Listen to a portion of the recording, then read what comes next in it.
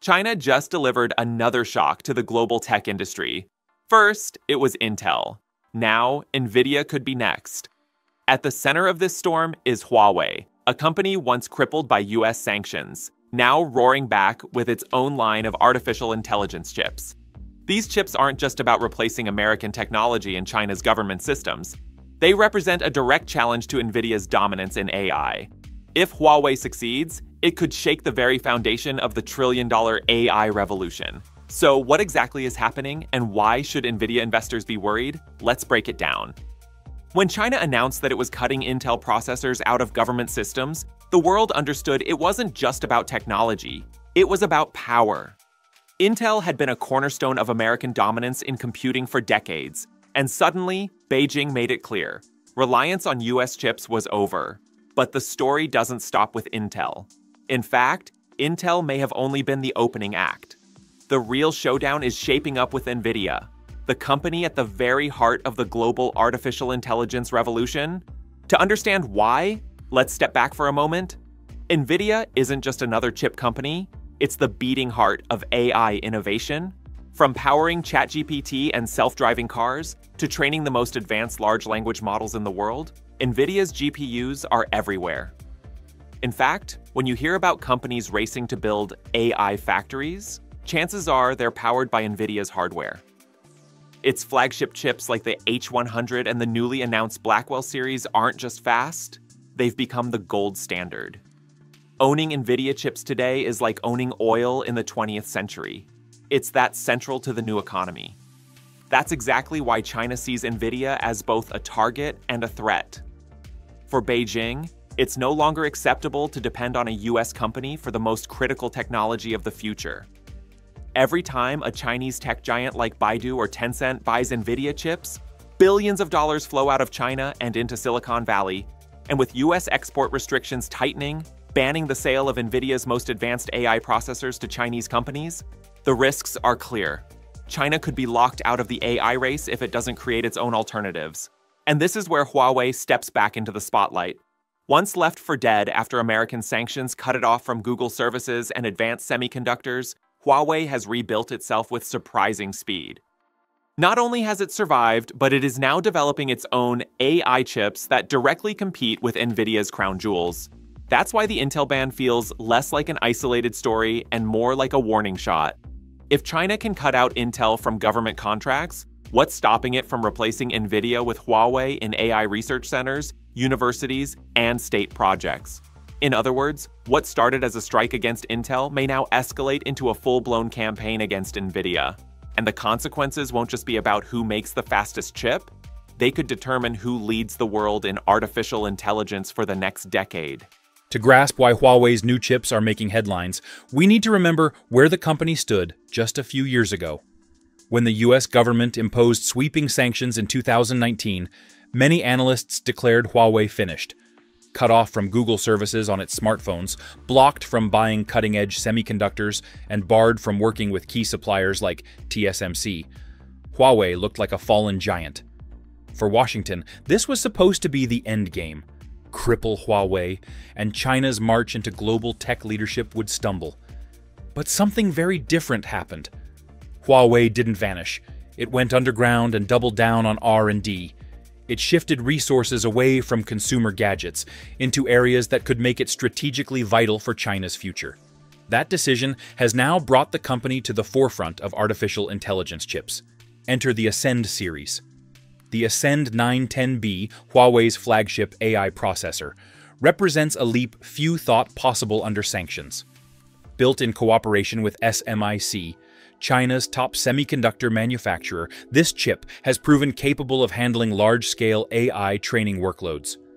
While not as powerful as NVIDIA's H100 or the brand new Blackwell architecture, it offers something equally important independence. For China, the ability to train large language models, power smart surveillance systems, and run AI driven industrial automation without depending on American chips is a geopolitical victory in itself. What makes Huawei especially dangerous to NVIDIA is its ecosystem approach. It isn't just building chips, it's building the entire stack. Huawei's MindSpore framework works hand in hand with the Ascend chips, providing Chinese developers with an open source platform tailored to local needs. It's comparable to Google's TensorFlow or Meta's PyTorch, but with one key advantage. It is fully optimized for Huawei's hardware and designed with Chinese government backing. That means billions of yuan in funding, state contracts, and a developer community encouraged, even pressured, to adopt it. Another key point is scalability. Huawei is not aiming for parity with NVIDIA overnight. Instead, it's focusing on creating chips that are good enough to serve China's vast domestic market. Beijing doesn't need chips that outperform NVIDIA's latest flagship today. It needs chips that can be deployed across thousands of data centers, universities, and government institutions tomorrow. Even if Ascend chips trail NVIDIA by a generation in raw performance, they could dominate within China simply because NVIDIA's most advanced GPUs are banned from sale there. There's also the matter of resilience. Huawei's comeback demonstrates that sanctions are a double edged sword. By cutting the company off from US technology, Washington forced it to innovate faster and rely more heavily on domestic supply chains. The result a new generation of chips that may not beat NVIDIA today, but could narrow the gap over the next five years. Put simply, Huawei is no longer playing defense. It is positioning itself as a direct rival to NVIDIA in AI, not in Silicon Valley, but on home turf, where US companies are shut out and local demand is booming and that sets the stage for a collision between the world's leading AI chipmaker and the one nation determined to break America's monopoly. The next question is unavoidable. When you put Huawei's Ascend chips next to NVIDIA's H100s, how do they really compare? So where does Huawei stand in comparison? On paper, the Ascend 910B chip does not outperform the H100 in raw power. Benchmarks show that NVIDIA still has the edge in training speed, efficiency, and software compatibility. NVIDIA's CUDA ecosystem, its proprietary software platform that developers use to program GPUs, remains unmatched, creating a lock-in effect that keeps global AI researchers loyal to NVIDIA. If you're a startup in Silicon Valley or a research lab in Europe, choosing NVIDIA is practically the default option. But here's where things get interesting.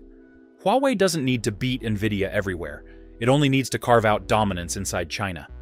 Because of US sanctions, NVIDIA cannot sell its top-tier chips like the H100 or Blackwell to Chinese companies.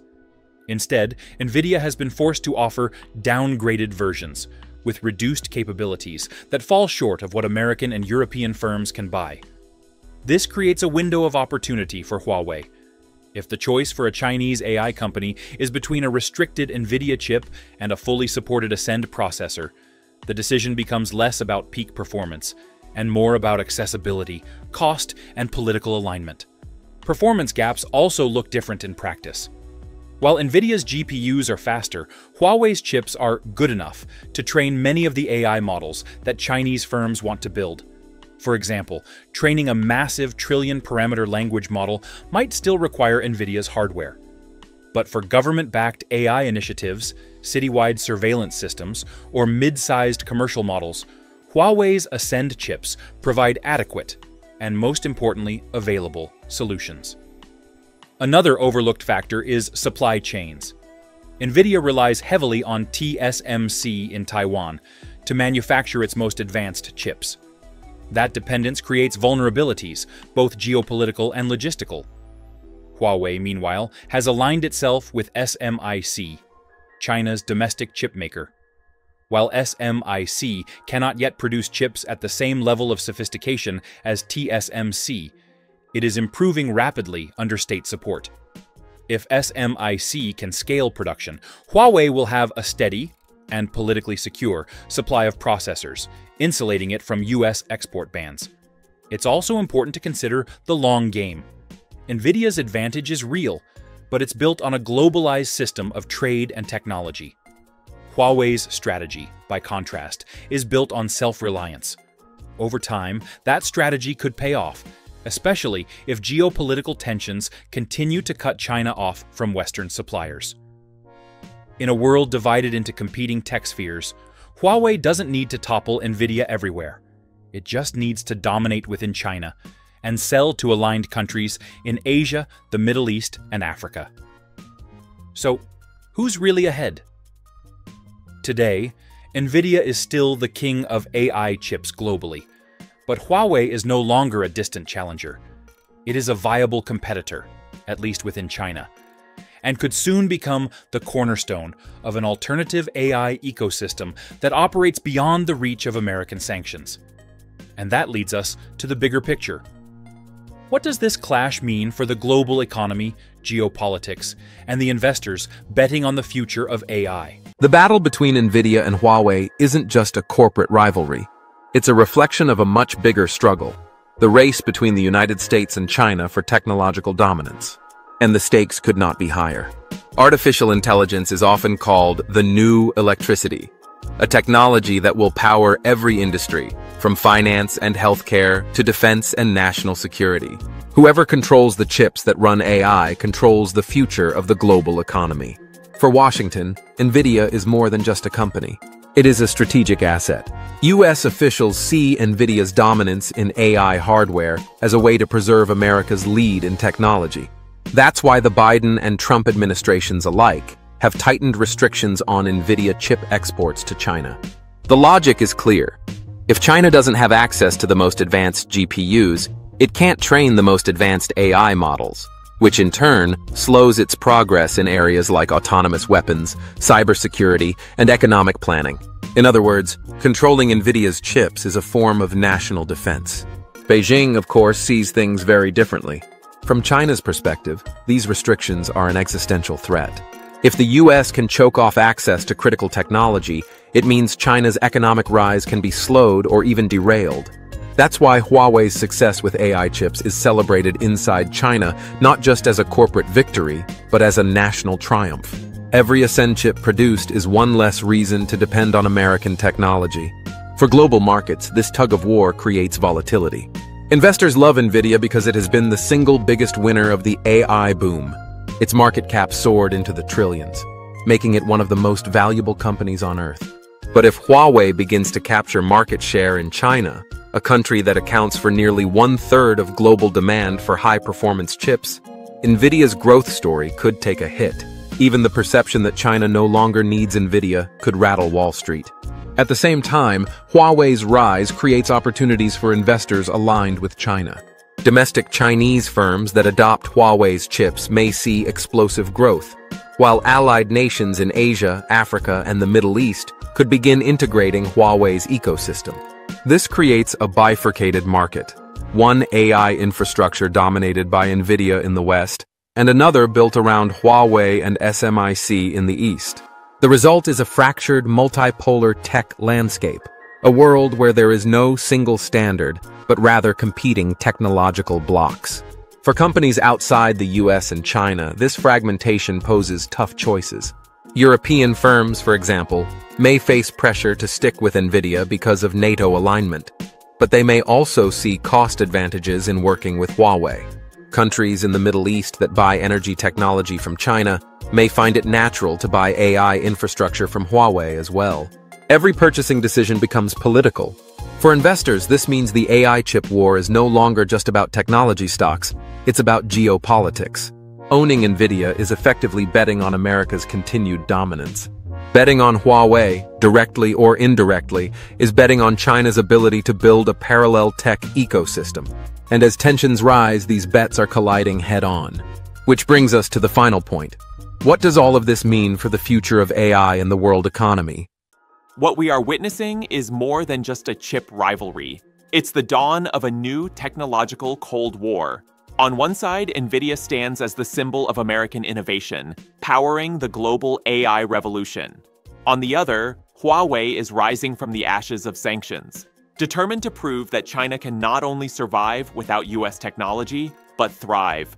This clash isn't just about performance metrics or market share, it's about control. Control over the infrastructure that will define the 21st century. Every data center, every AI factory, Every autonomous system built in the coming years will rely on chips like NVIDIA's H100 or Huawei's Ascend. And as the world divides into competing spheres of influence, these chips become more than silicon, they become symbols of power. For investors, entrepreneurs, and ordinary citizens, the outcome will affect everything from stock markets to national economies. The future of AI will not be decided in boardrooms alone, but in the high stakes geopolitical struggle between Washington and Beijing. This story is only beginning. And if you want to stay ahead of the next breakthrough or the next shock, make sure you hit that subscribe button, turn on notifications, and join us as we uncover the biggest shifts in global technology.